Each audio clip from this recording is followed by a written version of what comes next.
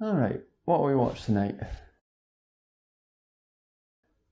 Hmm, the G word with Adam Conover. I heard Adam Ruins Everything was alright. I heard Adam's a, a good egg. That might be alright. Got a good recommendation for the dropout folks. That might as well be it. A comedy show about the United States government, starring me, produced by you.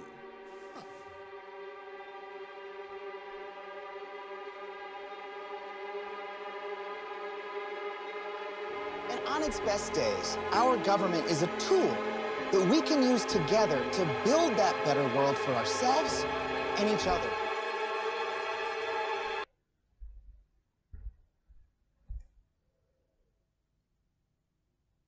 I have concerns.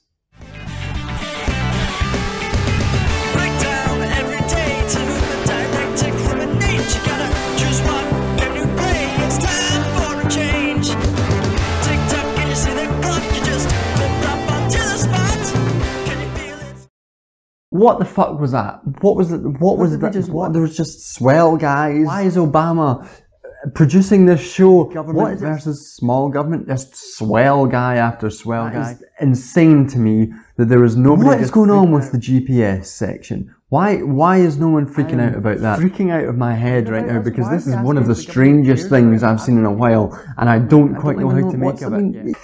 Fucking swell. Sw- Why are there so many swell guys?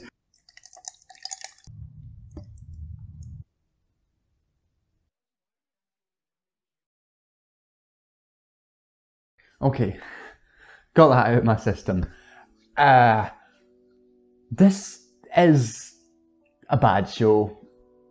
I think this is a bad show. It's a bad show, and as much as I, I want to and could, and I could do this, spend 40 minutes in the sort of free form ranting at camera about the various bits and pieces that annoy me, like a sort of free flow pissed off jazz piece. I could do this. But instead, I'm going to try and force something productive out of this. Something that's worth talking about. First, I'm going to pick out some themes which are uh, immediately apparent to me in the show. Some things that immediately jump out to me as a, well, problematic. You know, its relationship to propaganda, the proposed solutions to its political problems, and murderous imperialism. Next, we're going to look at the show as a whole through the lens of some Marxist theories of the state. Because although Adam talks about the G word in this show, what he's really talking about is the capitalist state. And you know I'm not going to let you get away with coming to a video of mine without any theory. Come on, you nerds, get a grip. So this show is, in my view, liberal propaganda. And we can't talk about the show with any honesty without first talking about the fact that it's produced by my friend and yours, Barack Hussein Obama. And Adam clearly agrees with me here because this is how the show begins. Him and Obama mulling it out as old pals. So in the opening skit, which starts with Obama having trouble with his taxes, silly goose. You're producing the show. People are gonna think it's pro government propaganda. But our friend Obama, he, he disagrees. This show's not about pro government, big government propaganda. It's about showing what the government does in a balanced way. He won't tell Adam what to write, he can talk about whatever he wants. Make the show you want to make. I've got expenses to report. And now the astute amongst you, which I'm sure is all of you, because if you're here, you're astute. Look at you all there.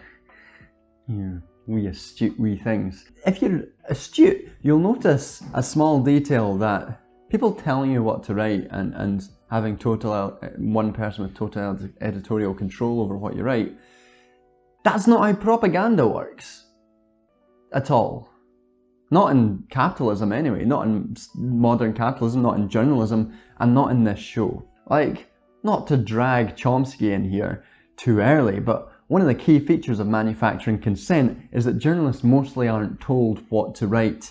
They have their jobs because what they write is consistent with the economic and ideological needs of the corporation and the, and the state, of course. And I'm not saying that Adam is necessarily a journalist here, but his reasoning is exactly in line with the reasoning that journalists who are accused of producing propaganda take. So take a look at this classic Chomsky clip. How, how can you how can you know that I'm self-censoring? How can you I know that you're self-censoring. are? I'm sure you believe everything you're saying. But what I'm saying is if you believe something different, you wouldn't be sitting where you're sitting. Some tasty classic Chomsky. And so it is with Adam here. The fact that Obama is producing the show doesn't necessarily mean that Adam's being told what to write, and I fully believe that he wasn't being told what to write. Um, but it does mean that what's written is in no way going to challenge Obama's ideological or economic interests, which, after all, are the ideological and economic interests of the state. He was the fucking president. Come on! like, this is this is is this the sort of like level that we're working on that like the president can be like oh you write whatever you want and and we won't sort of be like this is quite clearly bound to be propaganda i i'm becoming agitated. Okay, look, I'm as skeptical as you are. no i don't believe that to be the case adam. Actually you know what? Let's just ask him. I guess a good place to just start is is at the beginning of the show, um, because I think that's something that I noticed and something that seems to be at the forefront of the show is the worry that the show is in some sense propaganda, because you talk mm-hmm. about that over with with with producer of the show Barack Obama, and Yeah. uh, and like, well, is this is this propaganda? And Obama says to you in the show, you can talk about whatever you wanted. Um, and I just wanted to talk what how how did you think that that sort of influenced or did you think that that sort of influenced the construction of your show because I, I will talk about a bit about propaganda in a second A- absolutely it, it influenced the the production of the show i mean it's it's woven into the fabric of it and that scene you know i wrote and shot with the former president in order to try to first of all be transparent with the audience about the conditions under which the show were produced and try to be transparent about the the area that we tried to carve out for ourselves you know the the area of inquiry and like space that we had. So uh, look the the foundation of the show is clearly compromised right? I knew that it was going in. Um it's like it, it- it's part of the conditions that are unfortunately as someone working in mass entertainment i don't have the luxury of making a piece of uncompromised content. And i would argue almost nobody does. You know all i can do is a try to carve out space of editorial independence for myself where i get to say everything that i want to say to the extent that i can. Um, and two, I try to be transparent about it with the audience. We, you know, I felt that there's a conflict at the core of it, but that I needed to approach it in much the same way to um, try to be clear about it with the audience, to try to make sure that I can go to bed at night not feeling that the show has been unduly influenced, and by trying to pick fights that will uh, do my best to disrupt that influence, right? Not to play nice with it, but to try to like, you know, pick some fights in which I'm going to go to the mattresses really hard in order to grapple with it. Ow! That's my foot, you wanker! The cat is deciding to grab my foot with his claws at this moment because he's a dick. It is interesting to me that Adam accepts that the foundations of the show are compromised, but I don't think that that really makes it defensible to know that the foundations of the show are compromised. Like, you can always just not make something if you know it's compromised. And I think this sort of we'll return to this because I think it gets into his theory of well how action happens as well, um, and, and how how he interacts with with propaganda. But we, we we might return to that later on. I can't remember because I'm reading the script right now and I can't remember what I've written yet. We'll see. And by the way, that full interview is gonna is online right now for patrons and will be available for everyone else in a couple of weeks. So the other thing that this first interaction with Obama sets up in the show is that it seems to be a vehicle for showing off an array of just just swell guys, just the swellest guys, just a bunch of swell guys in governments doing their swell guy stuff and, and being swell along the way. Government, that's just a bunch of swell guys doing swell guy stuff and doing their best to be swell.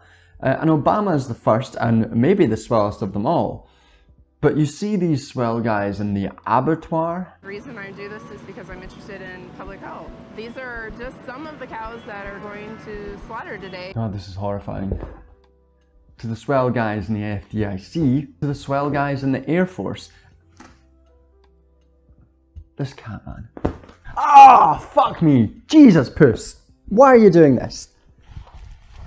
Fucking filming in the living room. Wanker. And we'll return to the swell guys in the military in a moment. Don't you dare fucking get, get on that place. Don't you dare. Don't you dare. Don't you fucking dare. And we'll return to the swell guys in the military in, in a brief moment. And the purpose of all these swell guys is to me so deeply ideological. Like the, the argument is made that it's about showing the people in government and what they do and where how they work and if they work to help you or hurt you in certain ways. And no matter what you think of the meat industry, I think you have to be happy that at every meat factory in America, there are inspectors on the line who work not for the company, but for us, with our best interests at heart. But they don't work for us, do they? They work for the state. And this idea that they work for us is hugely, hugely ideological. And you can make the argument that they should work for us, but that's, again, hugely ideological.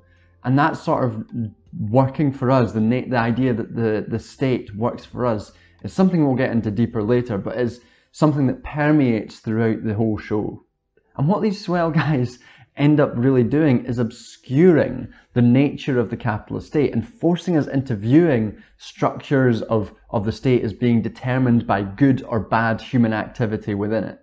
It's abstracted away from the real issues. And interviewing this guy from the US FDA really shows us this the problem with this show. Because this human element serves to obscure like what is happening. And like you talk to guys being like, oh, I have a sense of duty, a sense of care for for everyone in the country, or the vet for what is an immense and utterly disgusting slaughterhouse, and you focus on them seeming swell or or caring about us and their job being there to care about us, to work for us. And suddenly the immense and environmentally destructive, morally catastrophic slaughterhouse seems a little bit less bad. It seems like, oh, there's maybe something there to make sure it's not really that bad. And to be fair, Adam does say that the meat industry is environmentally terrible and that the cows don't look happy with it. And, you know, he told me himself that he personally found that a very disturbing experience. Look, I'm someone who thinks that factory farming is is a cruel abomination, right? Hmm. That should be ended.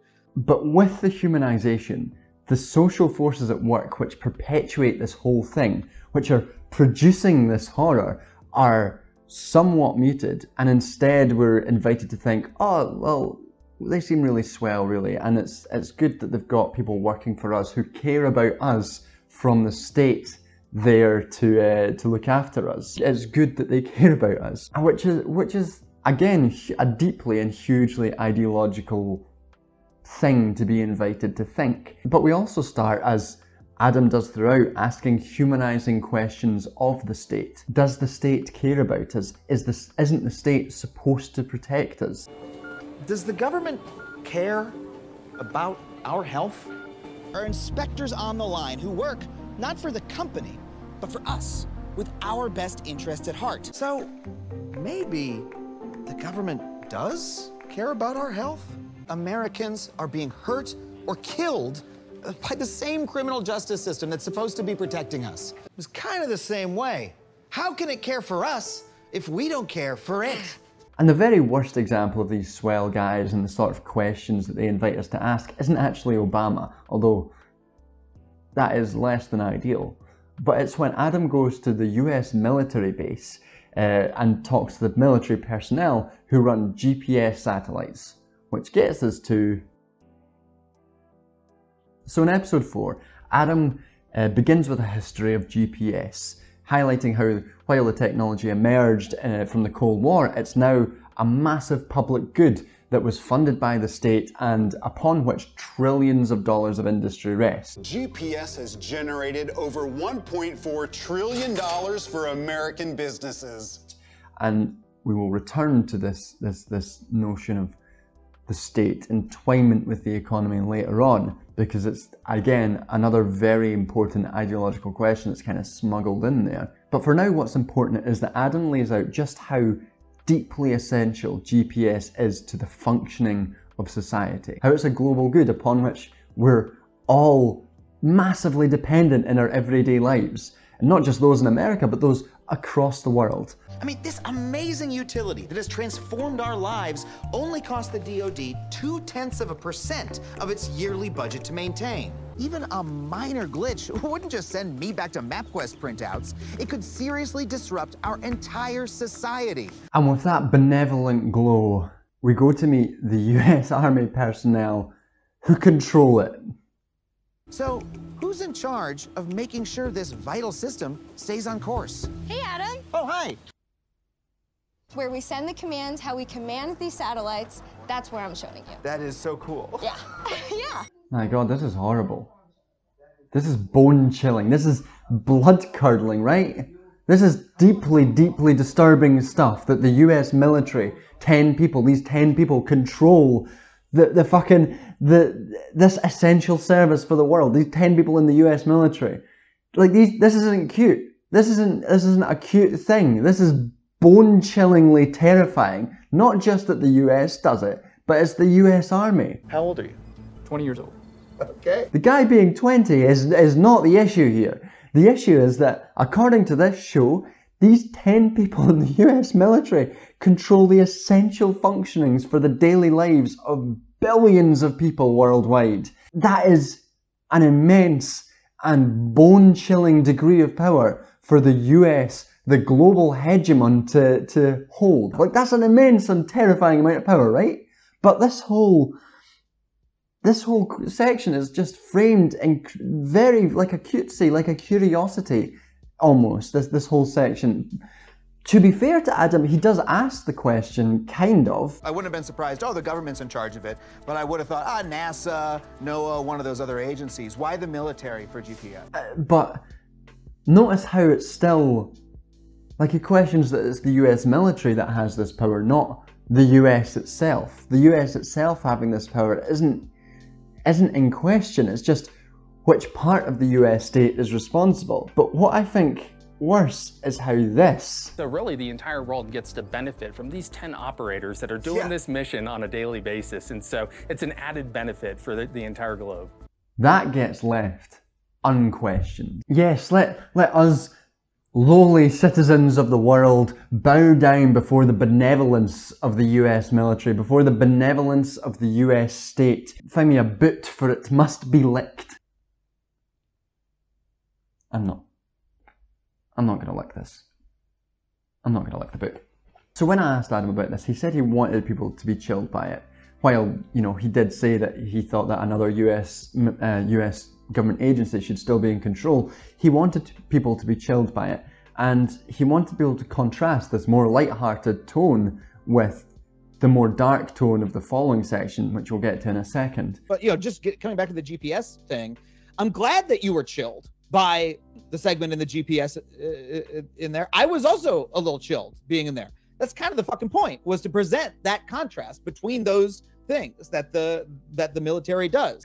But I find that I find the justification quite un- unconvincing, to be honest, because given the structure of the episode and all the episodes, really, what what happens is you have like the government does a good thing uh, versus the government does a bad thing, or does a bad thing but also does a good thing. And that combined with the sort of cutesy and curiosity tone doesn't, in my view, convey the horror of this situation. Like if I was doing it, like I am now, I would just say, this is horrifying that these 10 people control it. Uh, that it's not an international good, but that it's confined within the con- within the US state. I, I find I find it quite quite difficult watch that. Uh, quite a difficult watch. Around this time, I also asked like, wh- how would this play to people in America, and brought up that a huge part of American culture is support for the troops, uh, even in left-wing spaces. And um, I mean, it's not ubiquitous, but still. And I find it hard to believe that within the cultural context of America, that this doesn't play as just like a cutesy curiosity. Um, but even if not, you know, the US having control of it that isn't in the military is still, to be clear, fucking terrifying. But this is a very good example here of how the swell guy effect works to obscure the brutal realities of the US state. How could these 10 people be agents of brutal imperialism when they seem like, you know, such swell folk, such nice folk? But it's not the only example of imperialism and the blood soaked nature of the US state being somewhat obscured in this show. Later in the same episode, after musing over why so many technological advancements have been made through warfare, Adam's walking through a park and laments that Yet drones also make people nervous because while they've gotten us some beautiful wedding shots, that's not the only kind of shot they take. So I literally don't have time here to unpack the levels of ideology at play in this segment, which is explaining the usefulness of military drones for keeping American soldiers out of combat. I'd obviously prefer this robo-plane to get shot at than my neighbor's kid. But I do have time to unpack this comment. But what are the unintended consequences of an invention like this? After this, Adam explains how drone use has rocketed in recent years, how the Obama administration used them to assassinate and surveil people from across the globe in country in you know countries that the US isn't really at war at. And conspicuously explains this in a wedding venue. Of course, Obama is famous for murdering many innocent people in uh, weddings, at weddings via drone strike. And this could be an excellent opportunity to get there and examine the sort of murderous, blood-soaked, imperious role that the US state fills within global capitalism. Instead, Adam puts down the use of drones to enact global violence to the But what are the unintended consequences of an invention like this? the unintended consequences of Reaper and Predator drone. The unintended consequences. None of this is unintended, obviously. Warfare like this is absolutely intended and it's consistent with the economic, political, and ideological goals of the US state. Putting drone strikes down to some dehumanized technological influence which is bizarrely separated from the state and the economy and ideology which creates and sustains them is simply, in my view, outrageously defensive of the blood soaked nature of the US state. It's maddening to me that we spend so much time in the show humanizing the state and the sort of swell guys who operate within it. But as soon as technology comes and the horror that that unleashed, we suddenly create this distance of unintended consequences. What kind of a future world is this technology creating? The problem is, is, laid at the door of the technology and not necessarily the state and economic system which produces it. And I did put this to Adam. What we are trying to do is give a really bulletproof account of no pun intended, excuse me, uh, of what that technology did, right? The invention of the technology did. Um, and the very sort of like mainstream critique of drone strikes. And by the way, the reason it needed to be uh, bulletproof is because I'm making the fucking show with Barack Obama, right? And if I go out on a limb, um, I'm gonna have to have a lot of like I'm gonna be on the defense. I'm gonna have to have a lot of conversations I don't want to have, right? Um, but if I am really focusing on, hey, this is what like people who who study the invention of this technology um, have you know determined about the effects of it, then I'm on really firm ground, right? Because I'm like, well, look, there's fucking studies that say this. I'm saying them on television. You don't have much to argue with. Um, so uh, the the point that we tried to make is that the invention of the technology created a moral hazard, right? Such that you can now order strikes that formerly you would have to have a pilot in a plane order the strike and you wouldn't want to send a plane over Syria or whatever because then the plane could get shot down. You might have to go like do a fucking Black Hawk down and rescue a pilot, right? And and all this and it's bad press and etc. So the people who lead our military wouldn't want to do that. Um, when you uh, invent a technology that allows you to do it unmanned, it creates a moral hazard where it suddenly becomes much more tempting to order a lot more strikes. All these strikes you wanted to order before, you suddenly can uh, at very little cost to yourself because the drone gets shut down. Who cares? It's a couple ten million dollars, you know, but it's it, it, it doesn't cause all these other problems. Um, and uh, I, I mean, again, th- this is like, you know, for us, that is the piece that that is the point that we are able to make that is basically incontrovertible and is rock solid.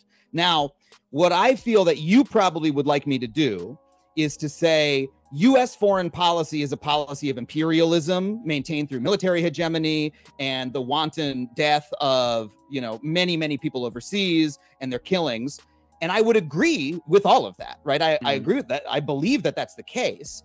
But that to me, like making a point about American foreign policy, American imperialism, is more than I am able to do in a half hour episode of a show about the government, right? For me, I find the response a bit unconvincing. I think it is illustrative of the propaganda nature of the show that he felt that he couldn't talk about wider thing li- like imperialism, whether that's because you know he didn't think it was it would be entertaining, Netflix wouldn't pick it up, or he'd be on less firm ground with Obama. That is already uh, confining the, the the argument within a very tight box. But also in saying that the technology creates a moral dilemma that you can now enact drone strikes seems to put a directionality in the wrong way, where the technology is the determining factor of the violence and not the nature of the state, which again is hugely ideological. And I know Adam Adam says that he agrees that uh, the US is a hegemonic, blood-soaked imperialist state. So I don't think he's trying to to make that other point, but just within the confines of the show, the effect is that imperialism is obscured and the propaganda effect of the show is maintained. And I guess in the end, all of this leads us back to Obama. And I, I am sure Obama didn't tell Adam what to write here, except he does say that there's one joke that they wouldn't let him use. But if there's one thing that reflects well on Obama's legacy, it's excusing the, re- the use of drones as an untended consequence of a moral hazard created by technology. You know, how could he resist this moral hazard? Rather than, you know, that he is a willing and very vocal proponent of US imperialism, an agent of it. And it's with Obama that we reach. So naturally, when you're trying to find solutions for the state of the state, the person that you'll obviously turn to is, I, I guess, the former president of that state, who is, of course, a swell fucking guy. Make some peanut butter sandwiches with, with him. I'm very particular about how you make a PB and J. Oh yeah, do you uh, still make your own sandwiches a lot? No. I don't much like watching war criminals pad about in their mansions making cute peanut butter and jam. Not a big fan of it, to be honest. Not a big fan. But Obama here is very quick to illustrate the exact ideological trick that the swell guy figure perpetuates. We have to remind ourselves that uh, it's a human institution, like every other one, which means there are going to be screw ups. Which here serves to remind us that any solution has to centre some sort of flawed humanism as the cause of the problem, and not, you know, that the state is an expression of solidified ruling class, settler colonial, white supremacist interests. Our solutions can't draw on that because the state isn't is a human institution. We can't draw on the, this analysis because that analysis isn't given. Instead, it's centered wholly on the human element. And this is, I think, something that, that was missed in the interview, maybe I, which I maybe should have expressed clearer, is that the analysis of the state is important because it's where we draw our action from. The problems here is that people mess up, that there's some bad apples in there. There are going to be people who are doing things for the wrong reasons. And in fact, this entire interview with Obama seems to serve to undermine collective action in favour of some sort of funneling into a narrow electoral frame. Even when Adam puts up some opposition to what Obama's saying, People have been demanding change on for a really long time. Criminal justice, police violence. It's hard to take. the response from Obama is firstly this, The, the only thing we can't do is lapse into cynicism. which frankly annoyed me given that this is perhaps the most cynical part of the show, uh, which is illustrated by what he says next. and say, well, because this hasn't changed at the pace that it should, there's nothing we can do about it. Now, I wonder why the great disappointment Barack Obama might have some concern about pushing back against cynicism for electoral change uh, or the mass disillusion which is drawn from mass disappointment from that lack of change. I wonder if he might have any vested interest there. And Obama then goes on to relay the importance of voting and participating even harder in the system. And when Adam again offers some challenge to this, We didn't see change, despite that being, in my lifetime, the biggest mass movement for change that we've that we've seen in the country. Obama says this. Except it turns out Mitch McConnell was elected uh-huh. precisely because the country is a big, diverse, complicated place. Really, if the country is just so big and diverse, and the state is, as the show would have you believe, just a reflection of the of the of the people, of the collected mass of the people, then how can you really expect change to come?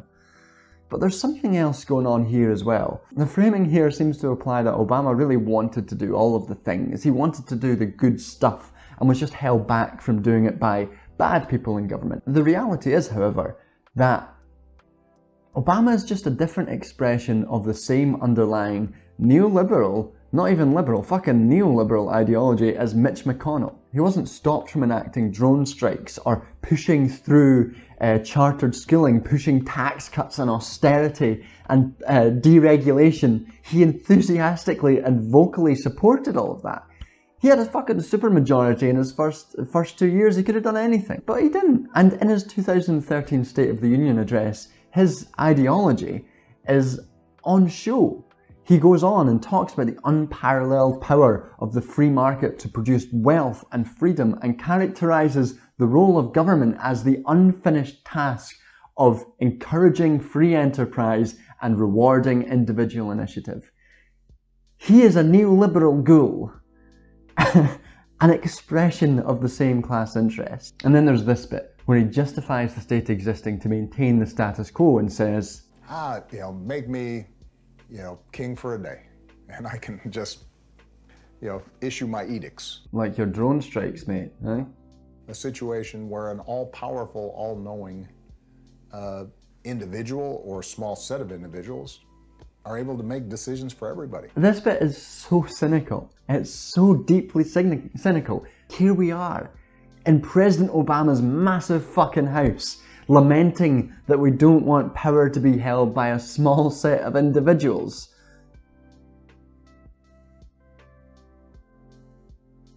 Right? President Obama in your massive house? Like, I don't think I need to explain why that's jarring.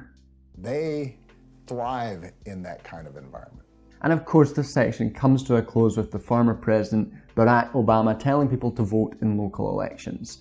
This is a frame for the remainder of the episode, which essentially makes the argument that um, it's our responsibility to get more involved with local government. And it's here that I think the show moves from being frustrating to being quite harmful for left wing movements. Rather than advocating for a generation of radical modes of social and community organisation which resist the state oppression and build uh, collective power and alternatives to state action in local communities or in, in different contexts, the show, or even in the workplace, you know, the show essentially argues for funneling that discontent into the constraining realm of electoral politics. And to his credit, Adam talks about this uh, in the interview, saying that he he thinks that it, it was a fail, a missed opportunity to talk more about like labour organisation and community organisation outside the realm of electoralism. But in the confines of this show, the limits of this are shown quite clearly in this interview. And so that allows us to think about, okay, now what do we have to do on the congressional level, senatorial level? The focus presented by the show is on reaching higher levels of the state. Like, I don't for a second doubt that these are good people who do good work. And um, Adam talked to me about the, the movement itself, which is not some, I wasn't aware of who they were. Um, and they do work beyond electoralism, which, you know, is great. And obviously I support that. But as it's presented by the show, by people who might not know who they are, it just looks like it's focused on getting the good people into the state, not dismantling the state or taking economic power, or indeed notably, not with reference to the settler colonial nature of the state and the exclusion and elimination of indigenous peoples, uh, which is central to the construction of a settler colony. At no point in this is worker organisation mentioned either, which I think gets to an assumed distinction here between the state and the economy upon which the shows rest. And ultimately, despite the claims to grassroots organising, this argument isn't grassroots power. The people aren't getting power within what's being presented to us in this show. The collective power is being constrained within the confines of the capitalist state. And if this is something that groups are uh, very focused on in the US, then it's something I would have severe criticisms of those groups doing. We have to be extremely, extremely careful with our engagement with the state. Yeah, extremely careful. And yeah, this isn't, like I said, this is a critique that Adam is sensitive to.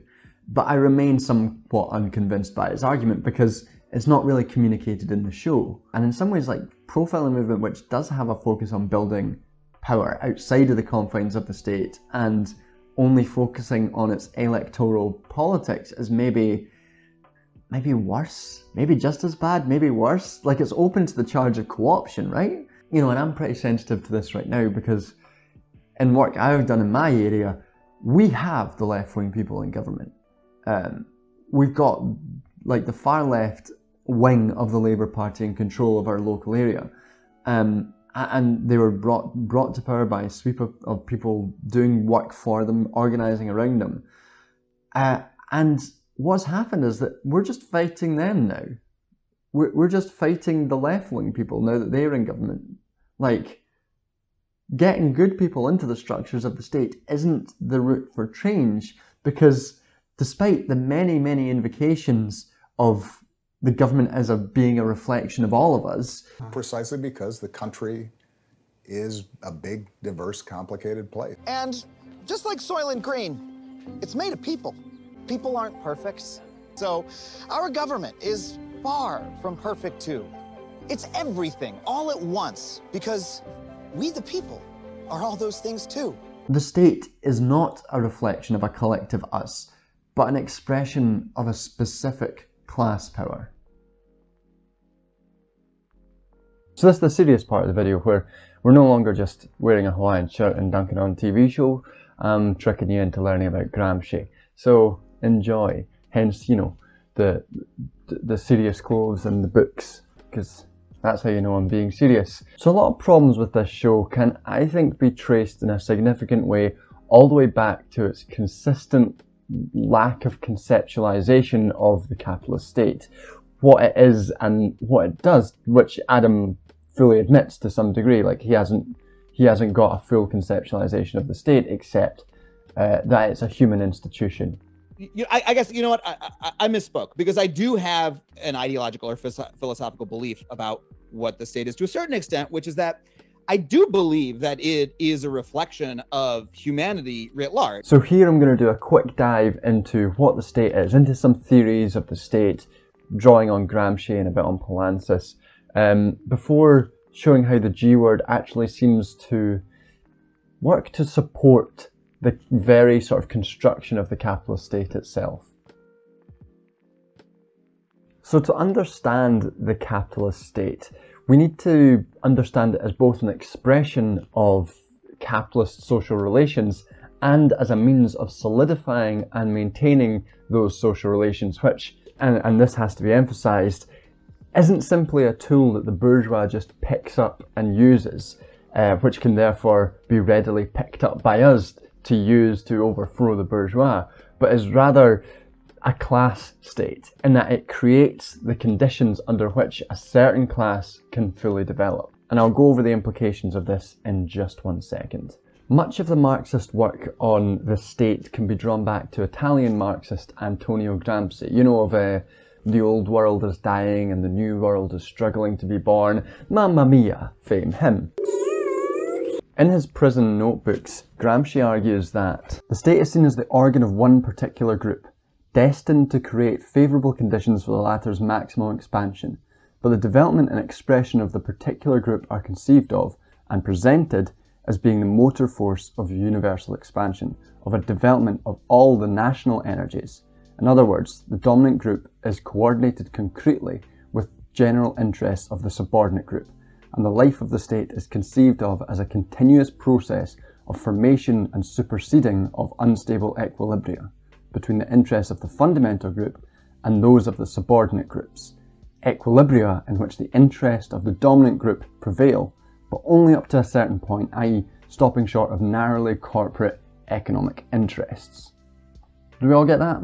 And so, what that means is that the capitalist state is the crystallized expression of ruling class dominance. But that expression isn't totally static because it's destined to create the favourable conditions for the ruling class's maximum expansion. And, and so the state is constantly trying to mediate tensions and contradictions within society as a whole. It's like that Stuart Hall quote about hegemony being constantly shifting and reinforcing itself in different ways. It's not a static and settled thing, much like the state. So to take like a practical example of how this works, we can look at something like the institutionalization of black civil rights in the wake of the civil rights movement. Victories were undoubtedly won as a result of mass civil disobedience and concrete struggle in the street, and it is important to always foreground the role of this concrete struggle over something as like pacifism or, or anything, you know, more uh, acceptable to the liberal frame when it was riots and concrete struggle which won these things. But as a material and institutional expression of hegemonic class interests, the state took those victories, expressed them as a development of all of the national energies, as a kind of like national moral development, and institutionalized these victories through mechanisms like legal rights, like codifying these legal rights, and in doing so folded them into the development of an officially colourblind racism, which uh, was a means of maintaining white supremacy and the capitalist state through things like, you know, mass incarceration or the war on drugs or the massive expansion of police power, which is a topic which is dealt with, in my view, quite quite poorly by the show, and I, I know Adam disagrees to some extent on that. And you can imagine by contrast, if there was no institutional victory of the civil rights movement, as in one institutionalized through the state, that the threat to the state and, you know, by extension, the bourgeois as a whole, from an increasingly militant and powerful subaltern social movement would have been quite significant. But instead, the equilibrium between subaltern classes, the oppressed groups, and the bourgeois was maintained. Capitalism and white supremacy were maintained. And for reasons like this, where the immediate class interests of segments of the white bourgeois, and indeed following from sort of Du Boisian idea of the wages of whiteness, large segments of the white working class too, uh, are in conflict with the longer term conditions of uh, the expansion of the ruling classes as a whole. The state operates to smooth over these divisions within the ruling classes and within society as a whole and maintain those conditions. And it's for this reason that we don't say that the state is a ready-made tool to be picked up by whatever group happens to uh, become dominant, but rather that it is an expression of the crystallized class relations of society, the crystallization of ruling class interests. And essentially, the ruling class presents this maintenance of the bourgeois as the maintenance of all the people of the nation. Note that who is considered in the nation and of the nation is often quite uh, exclusionary, obviously. You know, racial minorities, migrants, indigenous people often obviously fall outside the bounds of who is included within the nation, who is included within the we that we're talking about within the state. We're constantly being asked to identify with the state as something which represents our interests or could represent our interests or should represent our interests as something that acts on our behalf or should act on our behalf. And that is, as Adam says in his final piece to Camera, It's everything, all at once, because we the people are all those things too. So what is the G word? This gin is still very strong. Is that the G word? Maybe. What is the G word? Throughout the show, we're invited to view the state in ways which are precisely consistent with the view of the capitalist state that I've just sketched out. Remember all the swell guys? It's made of people. People who wake up every day and go to work for no other reason than it's their job. And it's a job that needs doing. Well, not only do they obscure the functioning of the state through things like humanizing it, but they invite us to identify with the state. We're invited to see these people who work for the government and indeed we're invited to see the government as a whole as being just like us, as having our interests at heart, as being representative of us, as holding our interests as a people or as a nation at heart, even if it fails sometimes, fails a lot, or is corrupted by other interests. And this speaks to a larger problem too, because it's not just saying that the state cares about us. Frequently, Adam asks, does the state care about us? Does the government care about our health? And sometimes, problematically, the answer is given as yes. There are inspectors on the line who work not for the company, but for us, with our best interest at heart.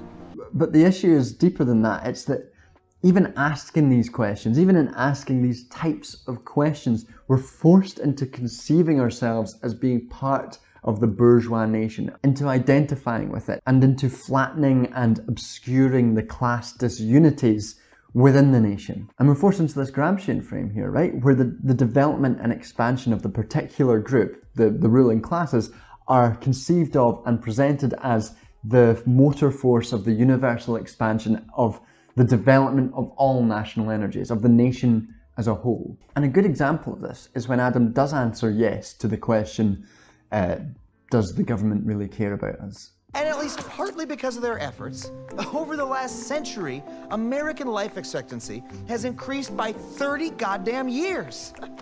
So this episode is about health and disease, and Adam finds that the state has pumped huge amounts of money into the health of the population. Turns out that our government's been using the one to fight the other.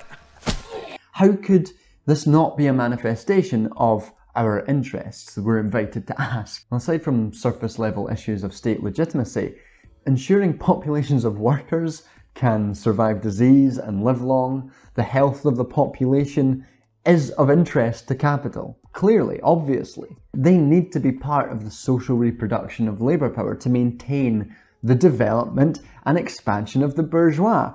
And it's presented by Adam as being the motor force of universal expansion of a development of all of the national energies.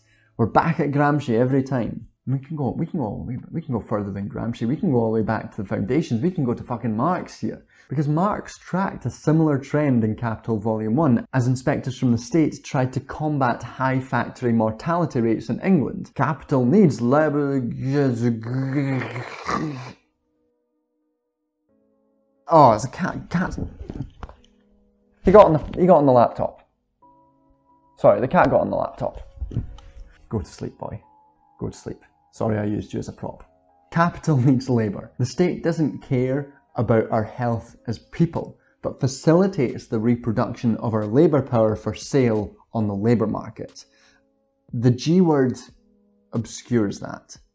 And in a similar way, the G word obscures the co constitutive nature of the state and the economy and reinforces a very liberal and, in its increasingly sharp nature, neoliberal distinction between the state and the economy. Like that's like it's a classic thing that that distinction between the state and economy It is a mainstay of liberal philosophy. And we can see this if we take another example where the government seemingly cares about us. It's explained in the show that the Great Depression meant that there was a huge uh, public outcry as customers and bank, bank customers' money was lost, and so FDR set up an insurance scheme to guarantee it. Adam then visits the sort of modern structure which, which does this, the FDIC, and at the end of the section comments that How incredible is this? Like, I don't know about you, I think this is one of the most effective government programs of all time. this is explicitly framed as the government protecting us, and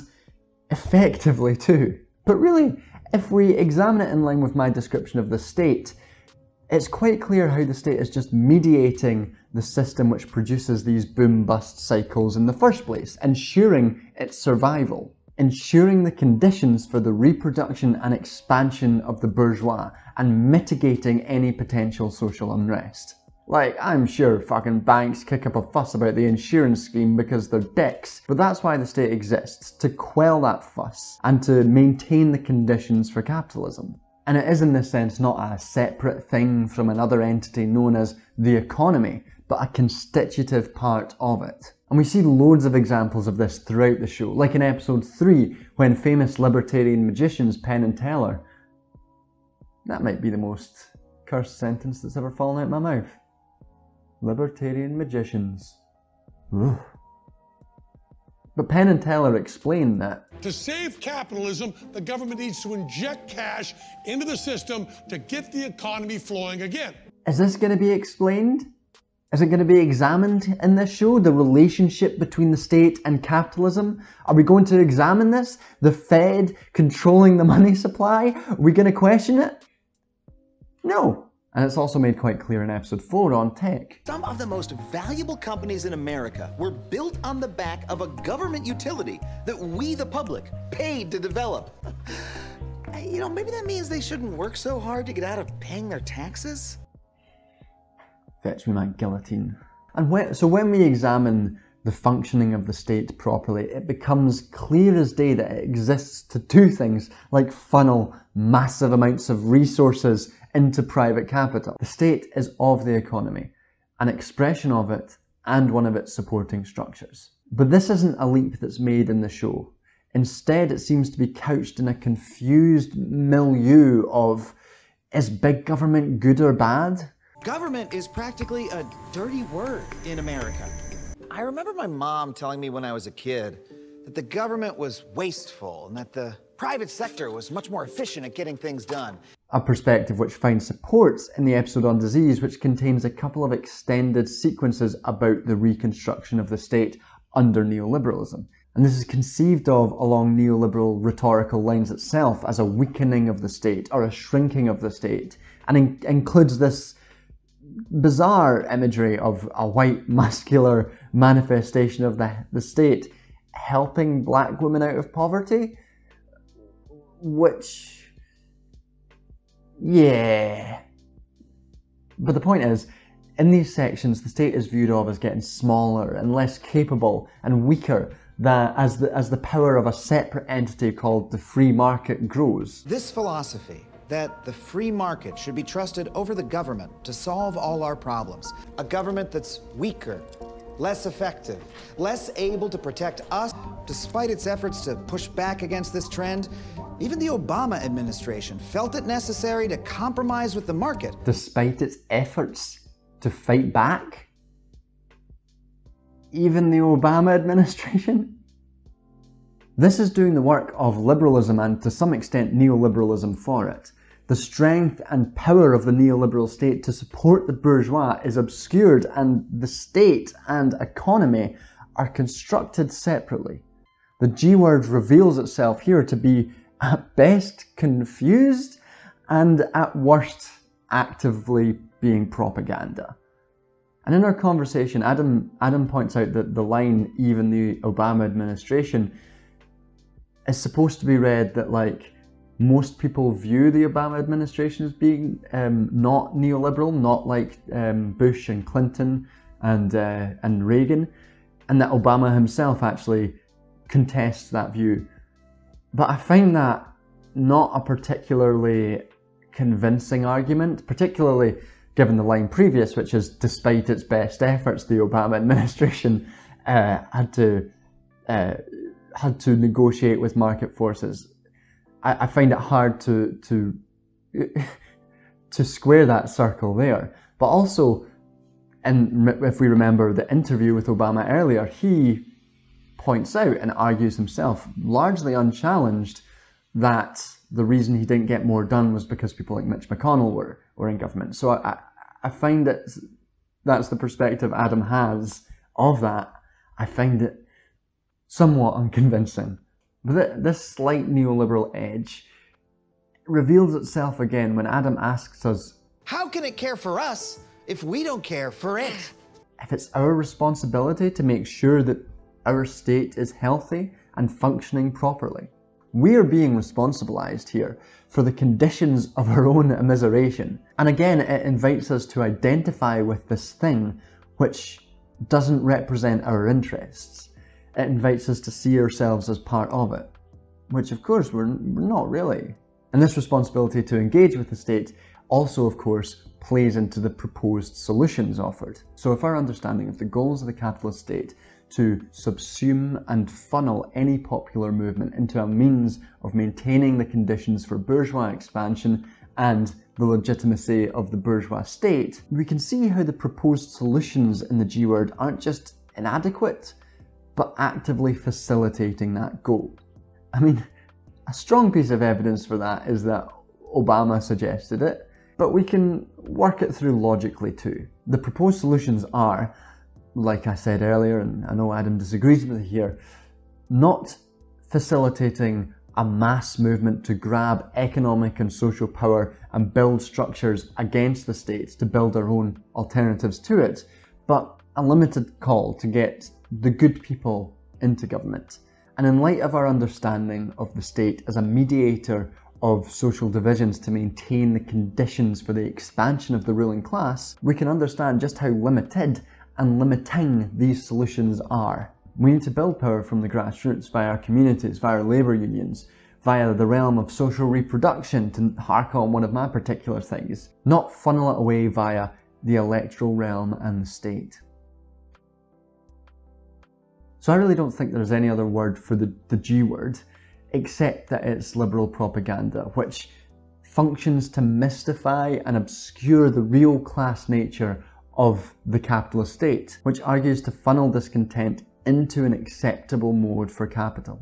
And I think that this show could maybe be seen as being as kind of kneecapping as some forms of more right wing propaganda, because it presents itself as having some degree of balance between, you know, the state does good things but also does bad things. But ultimately, it's just getting us to support the state, support the status quo, just getting us to appreciate and engage with it more. The times when the state is criticised or confused or obscured with no real logic behind the problems revealed, and we are constantly asked to confront the mystif- these mystifying notions. It was interesting in the interview because Adam seemed to see both his role as like getting this position of power to make this show in parallel to the sort of politics of getting into power within the state to move things and nudge things in the right direction. But I wonder if that reveals a kind of underlying problem with the politics of both.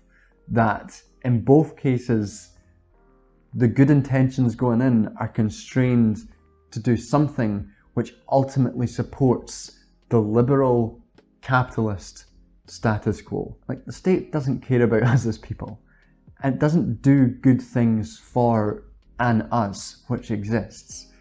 And we can't just pick it up as a ready-made tool for liberation. This is true for all of us, but particularly so for racialized and indigenous people, obviously. I don't want to talk for indigenous people here, but I'm fairly certain there's a common critique of the settler colonial state in there.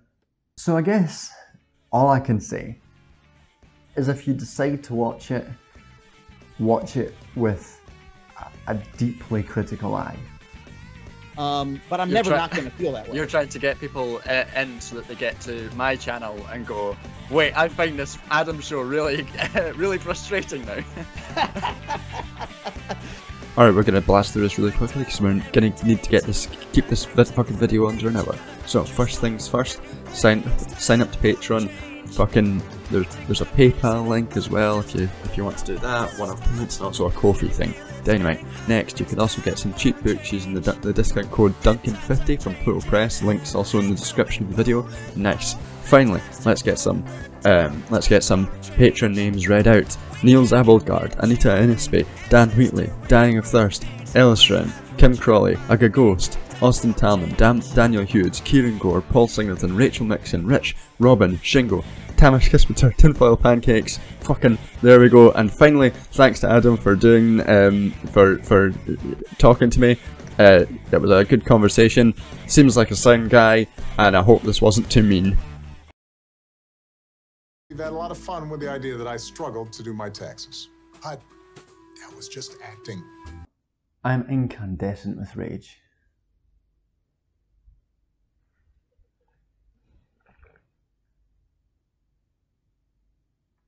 Fuck me.